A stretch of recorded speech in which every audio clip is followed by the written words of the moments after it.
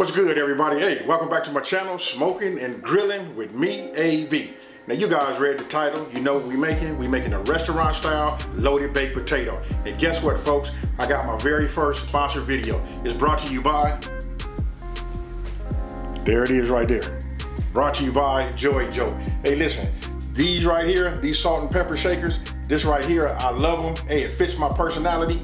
So if you've been following me, you know I'm all about like presentation. That's part of the cooking for myself. You know what? I'm big into my set, how everything looks around it. You know what I mean? And then when I saw these, check them out. So after seeing them, I knew I had to have them.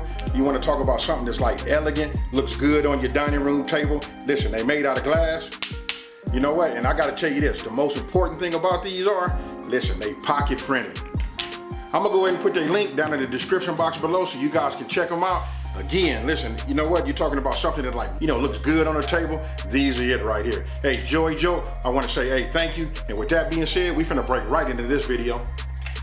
Okay, going over the ingredients, we got two large potatoes. Listen, I'm in Texas, so you know everything is huge in Texas. Okay, we got cheddar cheese, and the, you know what? I it one cup, but those are all like uh, estimations. You know what I mean? Uh, now we got green onions, listen, I got three individual green onions. I did the tops and the bottoms, you know, both green and white. That was chives. Then right here we got bacon. You can use as much bacon as you want. It depends on how much bacon you want to put in there. And that's a rotisserie chicken. Now, I'm gonna cut those and put that on top. And then of course we got our salt and pepper. Now, what you want to do is you want to get set up.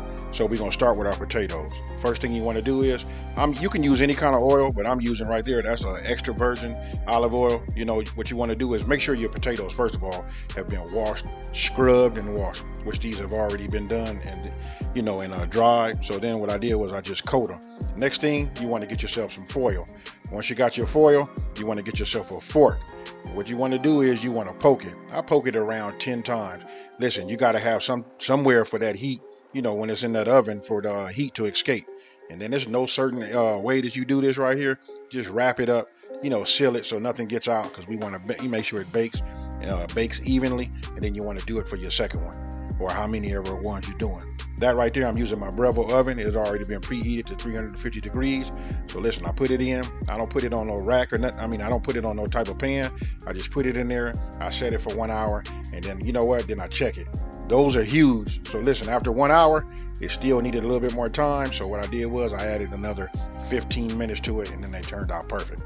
Now, once they're done, you know, I take them out. Then you want to let them cool a little bit. And you want to, hey, listen, let me just say this. You want to make sure that you uh, keep some type of caution because listen, those are extremely hot. Now, all we want to do is we want to open them up. You're going to see some of the steam come up off of them. Listen, then you want to take your fork just to check you want to check to see if it's tender. Now, once you you know you stuck your fork in there and it's like super tender, now what you want to do is you just want to cut it. I don't cut it in half. I cut it at about 65% above. You know what I mean? So listen, you're gonna have a bigger side and a smaller side. That smaller side, you want to go ahead and get you a spoon and you want to, you know, dish out all of the potatoes and put it into a bowl, as you see right there. And then you want to, you know, I discarded the skin, and then right here, what I'm doing is making it like a little boat. You know, taking all of this, uh, the uh, potatoes, the potato stuffing, and putting it inside of that bowl. Then once you've done that for as many potatoes as you have, that's a half a stick of uh, butter. Now this is up to you. You can put as much butter in there as you want to. If you got more, then I probably suggest that you probably put a whole stick. But right there with that heat, listen, it melted just fine. And then, hey, here's the key to cooking, you guys. You got to taste your food as you, you know, at different stages. So I just tasted it. I know it needed a little salt. Right off the back, it needed salt. Then when I tasted it, I adjusted it. And then after that, then I went with the pepper. And then, you know, you do the same thing. Listen, that's essential. That way you don't have no surprises and your food turns out, you know, just awesome. So you want to just make sure it's mixed properly. And then once it's done, you want to go ahead and refill the bigger por portions of your potato. So just like you see right there. And of course, you saw that I had uh, used a, a, rotisserie chicken. So listen, I just shredded it, you know, with my hands. I went ahead and just put some shredded chicken on the top. Then put some of this cheddar, shredded cheddar cheese on there. Once I'm done with both of those, I went back into the oven. And then, you know, it's still at 350 degrees. All I'm to do is, now this right here, I don't have no time for you. I just suggest you guys keep an eye on it. It only took this right here about five or six minutes for it to melt your cheese. And there you have it right there. Now, I just went ahead, you know, added a little bit more cheese to it. Now this is the part where you guys own it and you make it your own. But what you want to do is you just want to decorate it. As you can see, I'm putting more chicken on the top. You know what? I'm gonna hit some chicken, a little bit more cheese. I'm gonna put some sour cream on it, and then we're gonna come back with some of those chives. Hey, you got the picture. This is what you do.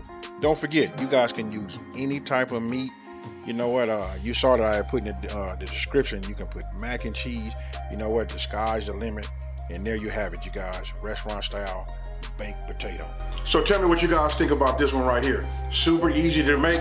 Hey, listen, this is the best way that I can think of that if you want to get your, your inside of your potato, you want to get it, you know, thoroughly mixed so you can get it with that butter. You can even put sour cream in there. But as you saw, I just went to butter, salt, pepper and then restuffed it back into the uh, skin. I want you guys to let me know down in the comment section below, what would you even use for a topping? Also, you saw me using these salt and pepper shakers by JoyJolt. Listen, it's called the Revere Collection. If you guys are interested in picking those up, listen, I'm gonna put a, a link down in the description box below so you guys can check them out. Hey, with that being said, if you're new to my channel, let me go ahead and just say, hey, thank you for watching this video. Don't forget to subscribe, like this video, and tell everybody out there there's a channel out here that's simplifying these recipes and taking the mystery out of cooking. And if you've been watching me for a while, you guys know how I'm gonna end this one.